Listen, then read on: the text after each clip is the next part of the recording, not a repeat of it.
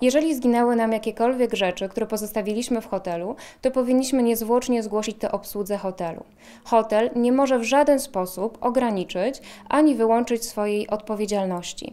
Nie może tego uczynić ani poprzez zapisy umowne, ani poprzez ogłoszenie, czy też jakiś wewnętrzny regulamin. Jego odpowiedzialność jest ukształtowana na zasadzie ryzyka. Oczywiście to nie jest e, odpowiedzialność nieograniczona. Są też przypadki, w których hotel nie będzie ponosił takiej takiej odpowiedzialności. Na przykład, jeżeli taka szkoda wynikła z właściwości rzeczy, na przykład wnieśliśmy turystyczną butlę gazową, która następnie wybuchła.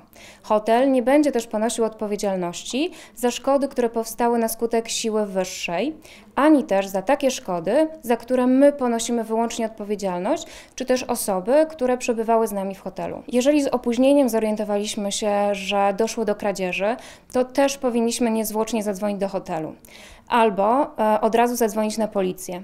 Tu może pojawić się pewien problem, jeśli chodzi o e, wykazanie tego, że rzeczywiście dana rzecz zginęła nam w hotelu. Będziemy musieli zabezpieczyć też dowody.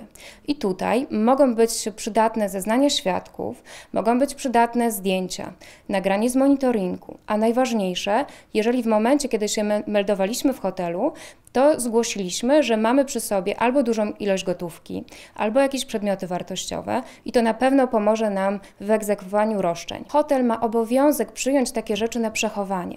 Jeżeli to są pieniądze, papiery wartościowe, jeżeli to są kosztowności, czy też inne rzeczy, które przedstawiają jakąś wartość naukową czy też artystyczną. Nie może nam tego odmówić. Są też tutaj również pewne wyjątki, takie jak na przykład e, przyjęcie przedmiotu, które zagrażałoby bezpieczeństwu gości gości hotelowych, albo jeżeli nasz, nasz przedmiot przedstawia zbyt dużą wartość w stosunku do standardu danego hotelu, albo jeżeli na przykład chcielibyśmy zostawić jakąś rzecz, która jest zbyt dużych gabarytów w stosunku w ogóle do tego obiektu hotelowego.